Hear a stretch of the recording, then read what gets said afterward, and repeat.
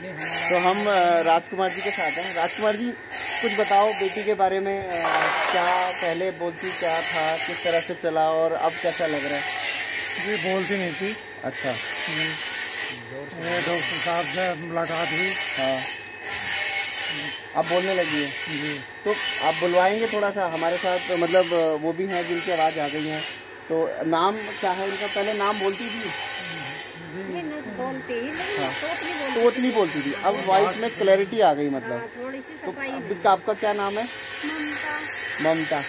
पहले ये ममता अच्छे से नहीं बोलती थी मतलब थोड़ा तुतला तुतला के बोलती थी। सामानों में ऐसे तुतलाती थी जो उसे फिर भी इसका कोर्स अभी पूरा नहीं हुआ। अभी दो महीने का ही रिज़ल्ट है ये है ना? हाँ, एक महीने एक महीने का ही है। अरे वाह तो देखा है। मतलब ऐसा मेरेकल ओनली मतलब पहले ये तुतलाती थी क्लैरिटी ऑफ़ वॉइस नहीं थी लेकिन अब एक महीने के कोर्स में ही लगभग अभी चल रहा है इनका। आवाज़ में क्लैरिटी आ गई। है ना ममता? ऐसे ही है? हाँ।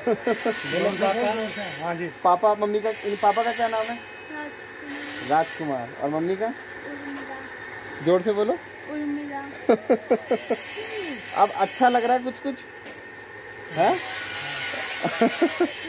तो अभी देखो थोड़ी सी शाय है लेकिन इट्स अ मिरेकल ओनली पहले जिस तरीके से ये नहीं बोल पाती थी, और मतलब एक ऐसी स्थिति भी है फाइनेंशियली भी थोड़ा सा यहाँ थोड़ी दिक्कत है, परेशानी है बट फिर भी सारे संघर्षों को देखते हुए और जिस तरह का इनका रिज़ल्ट आया है वो काबिल तारीफ़ है।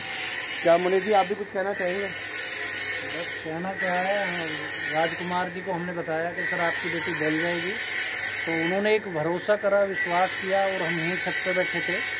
और उन्होंने हमसे दवाई मंगवाई और हमने बेटी को दिया था ठंडर और किरजीडोप अच्छा। जिसकी वजह से आज बेटी साफ़ बोलने लगी है। और धन्यवाद हो हमारे एमडी सर का जिन्होंने इतने बढ़िया जूस और काढ़े बनाए। मैं बार बार नमन करूँगा संजीव सर को कि वो ऐसे ही आगे तक अपने लोगों को बताते रहें और जूस और काढ़े बढ़िया बढ़िया बने हुए हैं जिसकी वजह से आज बहुत सारे लोग ठीक हो रहे हैं।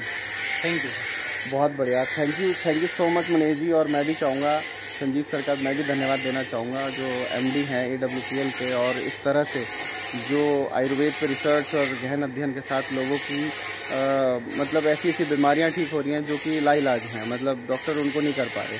तो दोस्तों बस अपने परिवार का इसी तरह से ध्यान रखें।